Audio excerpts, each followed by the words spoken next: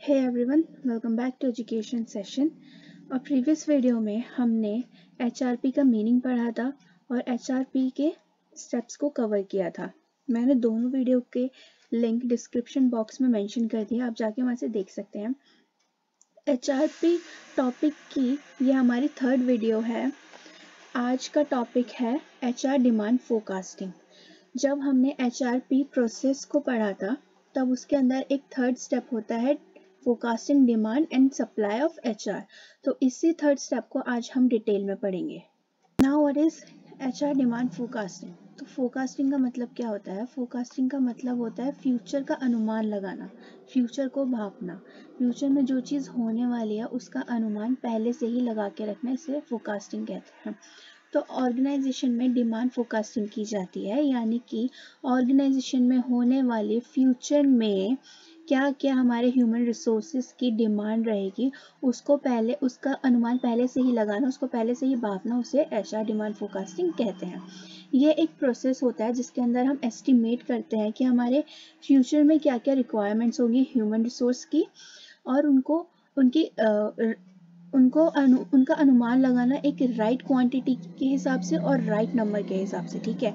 Right number के हिसाब से इसलिए क्योंकि अगर ज़्यादा हमने नंबर को एस्टिमेट कर लिया तो हमारे पास क्या होगा? सरप्लस हो जाएगा, ठीक है? और कम किया तो हमारे पास शॉर्टेज हो जाएगा। तो दोनों ही केसेस में क्या होगा? वेस्टेज ऑफ़ रिसोर्सेज होगा वेस्टेज ऑफ़ टाइम होगा, ठीक है? तो हमें एक राइट right नंबर को एस्टिमेट करना होता है एचआर के, और साथ ही साथ राइट क्वालिटी के होने चाहिए वो, ठीक है? जो जो हमारे से कि हमारे ऑर्गेनाइजेशन के पास एक नया काम आया है, ठीक है? और उस काम के अंदर हमें रिक्वायरमेंट है प्रोडक्शन के एम्प्लॉयज़ की, ठीक है? कि वहाँ पे हमारे जो एम्प्लॉयज़ होंगे, वो ऐसे स्किल सेट्स के साथ होने चाहिए जो प्रोडक्शन यूनिट में काम कर पाए, ठीक है?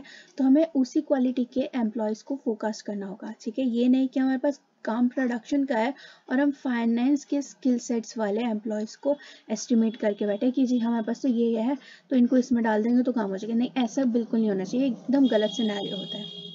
ऐसा नहीं होना चाहिए। तो डिमांड फोरकास्टिंग के अंदर यही होता है कि एक एक्सपीरियंस एच मैनेजर होता है, जो इस प्रोसेस को करता है और उसका काम ये होता है कि एकदम सटीक फोरकास्टिंग करनी होती है उसे फ्यूचर की। ठीक है? So this is called H R demand forecasting so demand forecasting करने के लिए अलग अलग मेथड्स होते हैं, जैसे कि managerial judgement work study techniques statistical techniques और इन सब के अंदर भी अपने अपने कुछ मेथड्स होते हैं। तो इन्हीं सब मेथड्स को अब डिटेल में पढ़ेंगे आगे जाके। So the first method is managerial judgement ठीक है? तो जैसे नाम है मैनेजरियल जजमेंट इसके अंदर ये होता है कि अच्छा इसमें दो पार्ट्स होते हैं। पहला होता है बॉटम अप अप्रोच ठीक है? और दूसरा होता है टॉप डाउन अप्रोच ठीक है? सो बॉटम अप अप्रोच में ये होता है कि बहुत सारे डिपार्टमेंट्स के हेड जो होते हैं, वो साथ में बैठते हैं, ठीक है? और एक जजमेंट बनाते हैं कि हमारे डिपार्टमेंट्स में इतने इतने ह्यूमन रिसोर्सेज की रिक्वायरमेंट है, ठीक है? और जब वो डिसीज़न बना लेते हैं कि क्या क्या रिक्वायरमेंट्स होगी, पूरा फोकास्ट कर लेंगे कर लेते हैं, फिर वो एक रिपोर्ट बना के अपने टॉप मैनेजर्स को दे देते हैं, उन्हें सौंप देते हैं कि ये ये रिक्वायरमेंट्स है। फिर सारे टॉप मैनेजर्स जो होते हैं, वो बैठ के ओवरऑल ऑर्गेनाइजेशन की नीड को फोकास्ट करते हैं कि क्या क्या डिमांड रहेगी। एचआर की पूरे ऑर्गेनाइजेशन में उसको फोकास्ट करते हैं और फिर उसे इम्प्लीमेंट करते हैं। इसे बॉटम अप्रोच कहते हैं, क्योंकि ये नीचे से शुरू होता है। लाइन मैनेजर से एग्जीक्यूटिव से शुरू होता है, ऊपर की तरफ़ जाता है मैनेजर्स की तरफ़।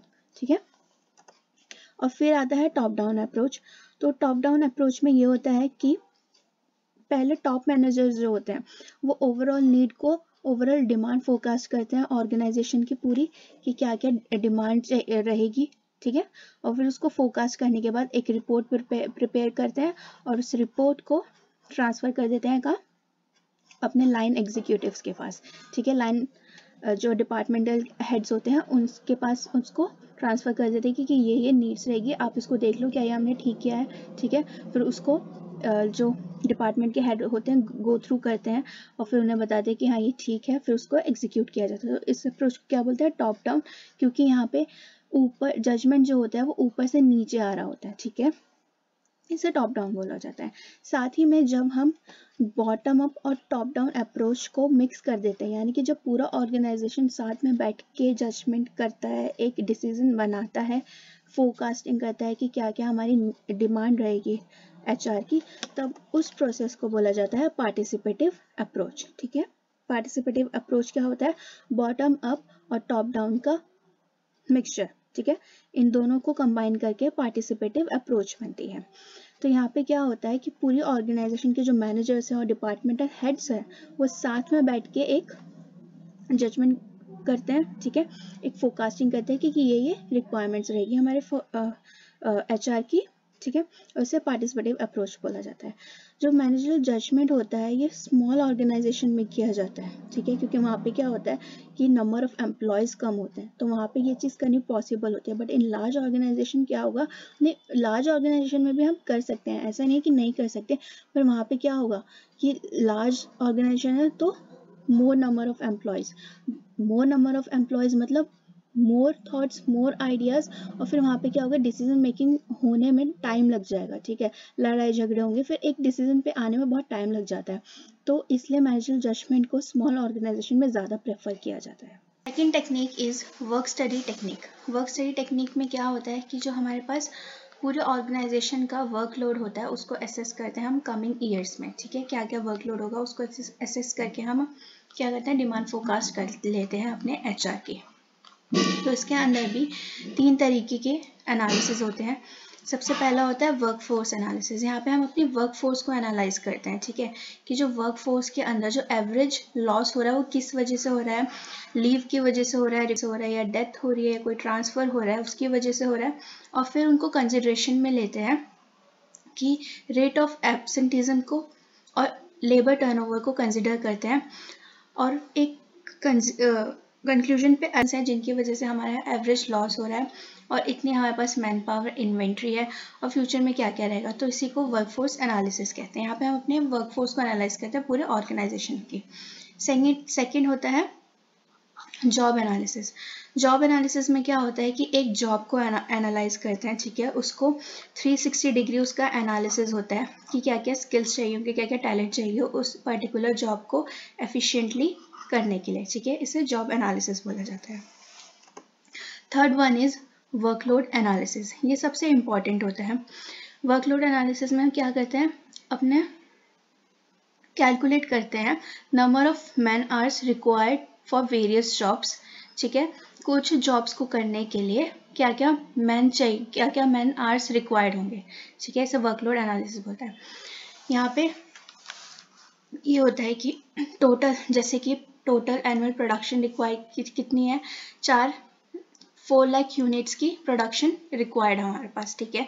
और वन लाख यूनिट को सॉरी वन यूनिट को प्रोड्यूस करने के लिए हमें दो घंटे लगते हैं। तो चार लाख यूनिट को प्रोड्यूस करने के लिए हमें कितना टाइम लगेगा? तो four lakh into two hours तो कितने आ गए? एट लाख आवर्स ठीक है? अब वर्क एबिलिटी पर एम्प्लॉय एक एम्प्लॉय की वर्क एबिलिटी की क्या है? कि वो हज़ार घंटे काम कर सकता है एक एम्प्लॉय ठीक है? तो फोर लाख यूनिट को प्रोड्यूस करने के लिए कितने वर्कर नीडेड होंगे? तो चार लाख को करने के लिए कितने चाहिए थे हमें? आठ लाख घंटे, ठीक है? और फोर लाख को प्रोड्यूस करने के लिए हम क्या करेंगे? आठ लाख को डिवाइडेड बाय हंड्रेड आवर्स ठीक है? जो एक एम्प्लॉय प्रोड्यूस करता है दैट इज़ हंड्रेड आवर्स ठीक है? तो आठ lakh divided by hundred hours तो कितने आ गए? एट हंड्रेड वर्कर्स नीडेड होंगे हमें ऑर्गेनाइजेशन में काम करने के लिए, ठीक है? तो इसी प्रोसेस को क्या बोला जाता है? वर्कलोड एनालिसिस यहाँ पे वर्कलोड को एनालाइज किया जाता है और उस वर्क को करने के लिए कितने एम्प्लॉयज़ की ज़रूरत पड़ेगी उससे एनालाइज किया जाता है। तो ये पूरा एक फॉर्मूला होता है और इसके थ्रू हमें पता चल जाता है कितने वर्कर्स नीडेड हैं। जैसे कि यहाँ पे 800 वर्कर्स की नीड थी, ठीक है? कितना? चार लाख यूनिट को प्रोड्यूस करने के लिए।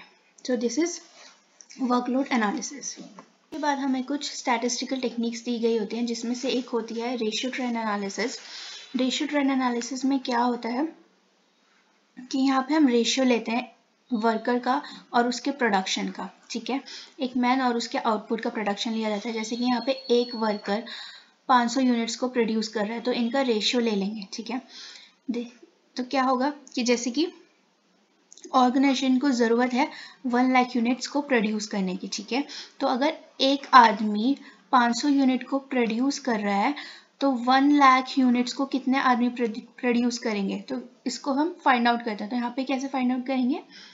One divided by 500 hundred into one lakh ये कौन से वन है? ये एक आदमी एक एम्प्लॉय जो 500 यूनिट्स को प्रोड्यूस कर रहा है। तो वन लाख यूनिट्स को कितने आदमी प्रोड्यूस करेंगे? तो क्या आ जाएगा हमारा? 200 वर्कर्स हमें नीडेड होंगे। क्या? वन लाख यूनिट्स को प्रोड्यूस करने के लिए। इसे रेशियो ट्रेंड एनालिसिस बोला जाता है।